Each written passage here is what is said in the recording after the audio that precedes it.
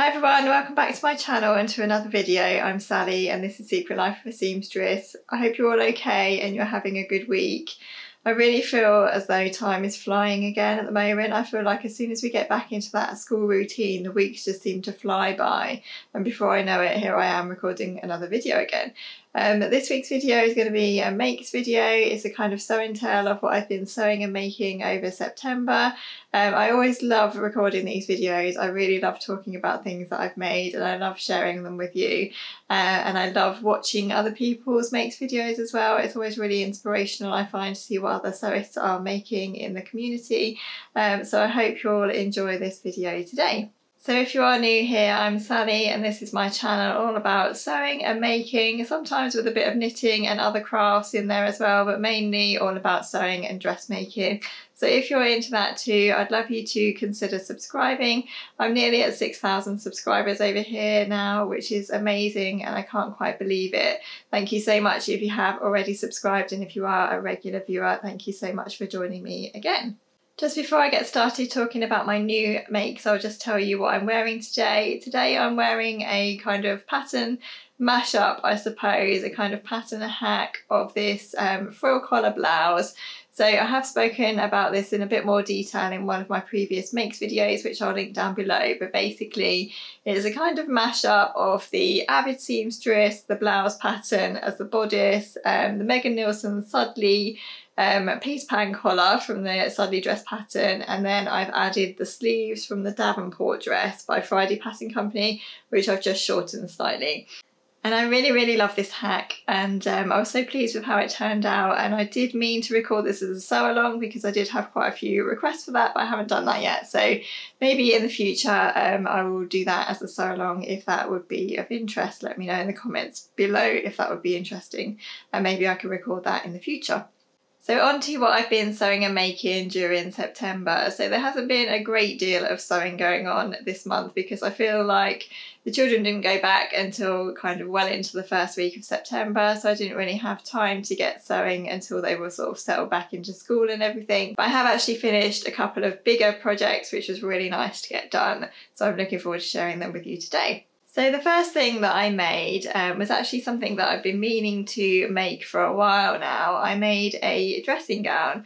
So this is the Hayley robe and this is by Tammy Handmade and I actually made this as part of a collaboration with Makerist. I do work with them from time to time on their um, promotions and their campaigns and things like that. So they kindly asked me to work with them again on their most recent $2 sale and they asked me to pick a pattern that I wanted to make up that would have been in their sale and I chose to make this um, dressing gown pattern or robe pattern, however you want to say it.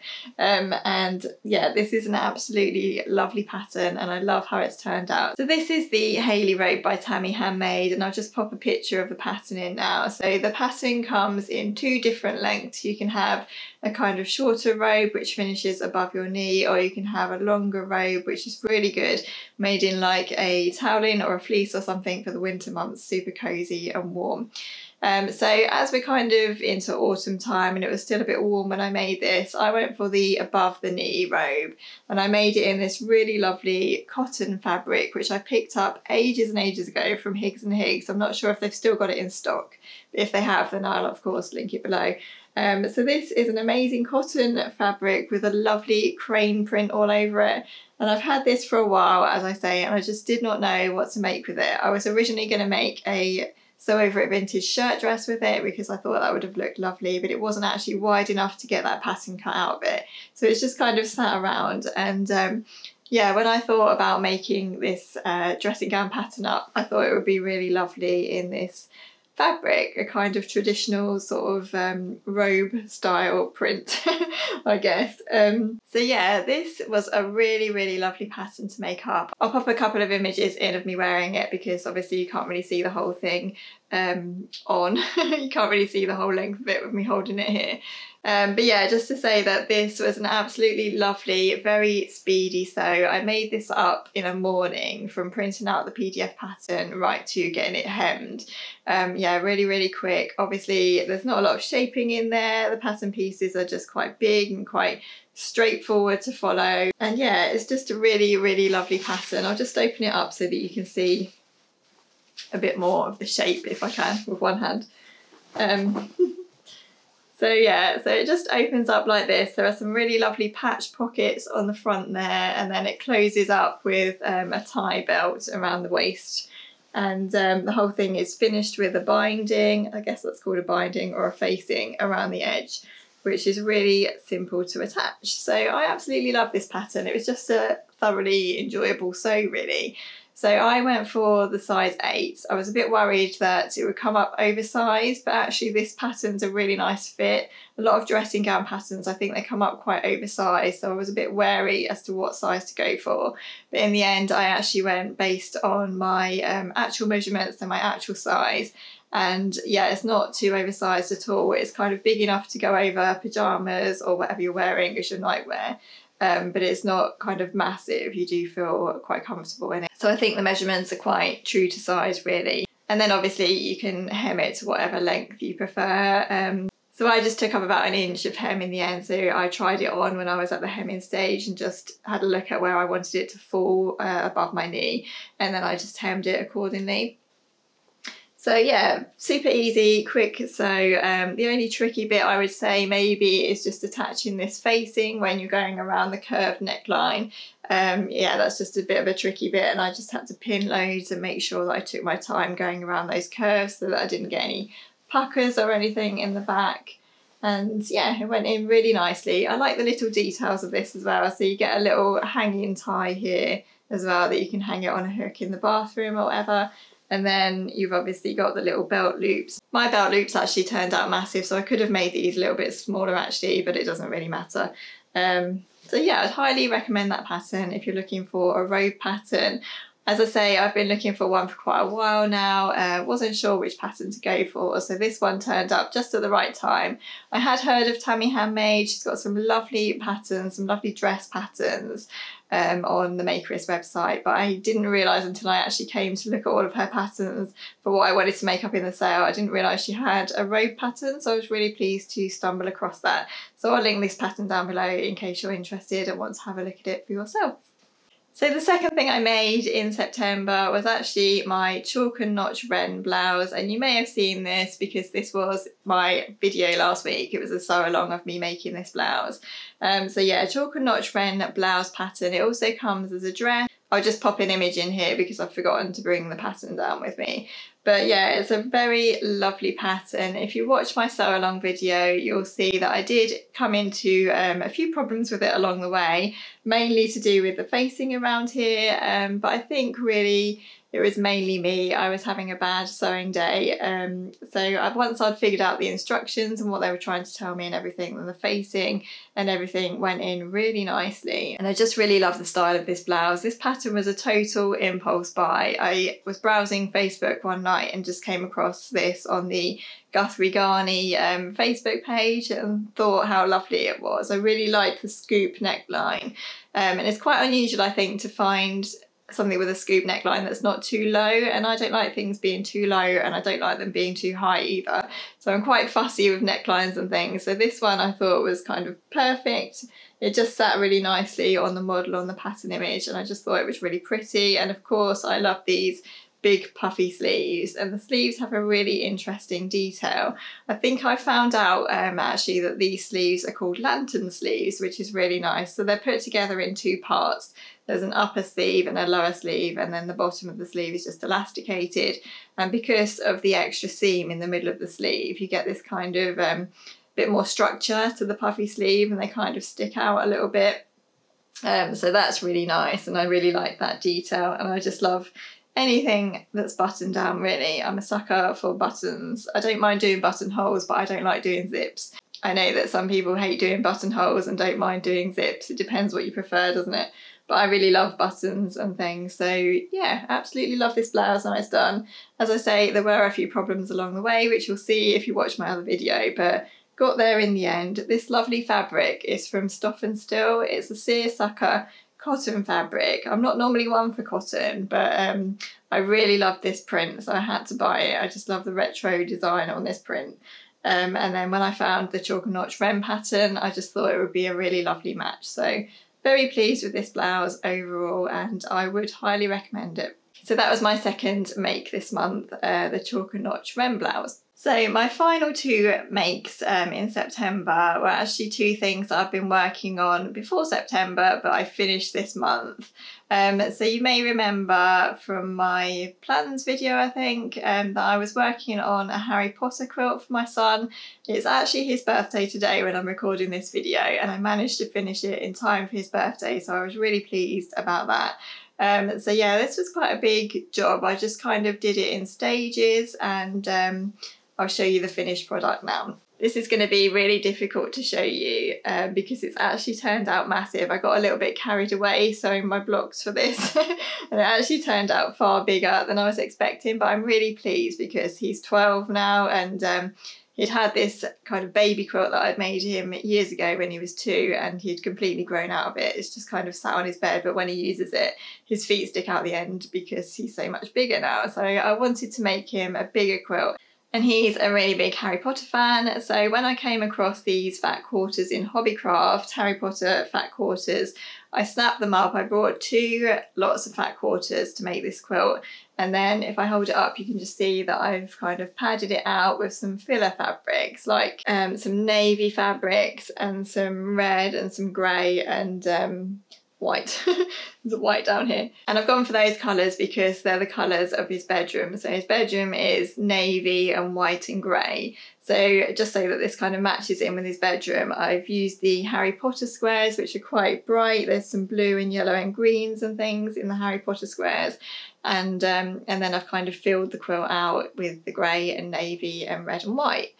Um, so yeah, this is a really simple patchwork quilt to do. I've simply cut tons and tons of 12 by 12 squares and taken a centimetre seam allowance so that the finished squares are 10 centimetres each. And then I've um, quilted it and I've backed it with just a simple cotton. It's a white cotton with grey stars on over it. And then for the binding, I've gone for a navy star binding and those colours and the star pattern just fit in with his bedroom because his bedroom is navy and white stars. So I am so pleased with this. It's just one of those jobs. I love making quilts, but because I used to make them for work with my Poppy and Primrose shop, um, I kind of got a bit not fed up with them. Fed up is probably the wrong word, but you know what I mean. I just made so many of them that I felt as though I was losing the love for them in a way. And um, so I took those off of my shop recently because they were such a big job and I haven't made one for a while. So it was really quite nice to go back to making a quilt again. Um, it's just a really therapeutic thing to make, I think, because it's all sewing straight seams. So you can really just sit there and kind of switch off and just sew.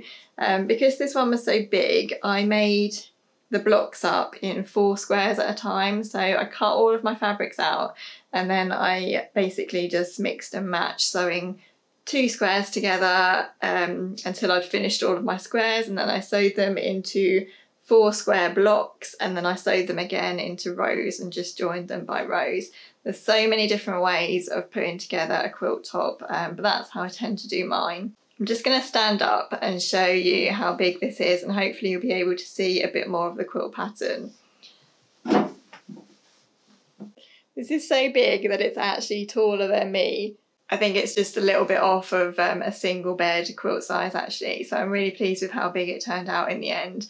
Um, yeah, it was just really lovely to make. One thing that I do, um, I know people use, look, there's so many different quilt waddings and um, things that you can use as quilt wadding or interlining or whatever. But um, for this one, I've actually used curtain interlining, um, which is something that I've done before with my quilts. I wouldn't use curtain interlining for the quilts that I sell, but for the ones that I know that I'm going to be washing and I'm going to be taking care of at home, I have used curtain interlining just to use that as the wadding inside, and I find that really easy to work with. It's really easy to sew, it's easy to cut, and it washes well as well.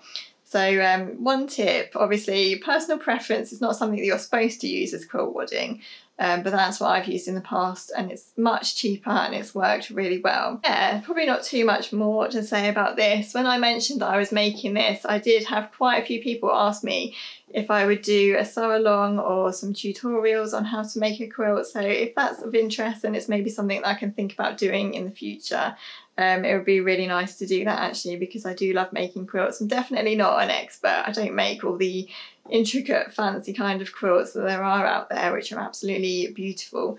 But I do um, just love a traditional kind of squared patchwork quilt like this one. So yeah really really pleased with this. I'm so pleased that I got it finished before his birthday and everything and he really seems to like it as well.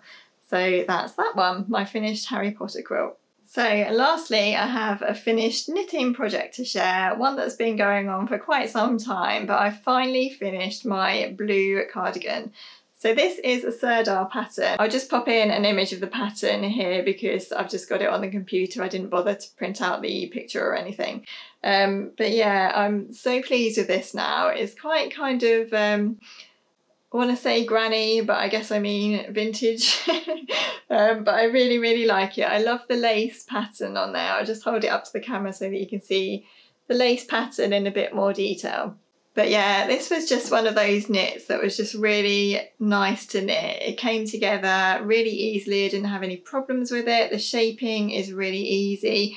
The only time I came into any kind of problems or difficulties, I guess, was when I was decreasing to do one of the neck edges um, and it's just you know when you're decreasing and you're trying to keep in a lace pattern at the same time sometimes it can get a bit confusing. But I got there in the end. I tend to write everything down now as I go so that I remember where I am and how many stitches I've lost and everything and where I need to be in the pattern so yeah, got there in the end. This just turned out to be a really nice size as well, so I didn't make any alterations to the pattern and it's a really nice length. I'm just going to put this on in a minute so that you can see what it looks like on and I also need to get a couple of photos of it as well, so I'll just put it on in a minute and let you see what it looks like. In terms of buttons, I just finished in the end with these kind of fake um, vintage style buttons which I got from John Lewis. They're actually plastic but they look as though they're kind of metal and crystal or glass. Obviously they're not, but um, yeah, they're really, really pretty.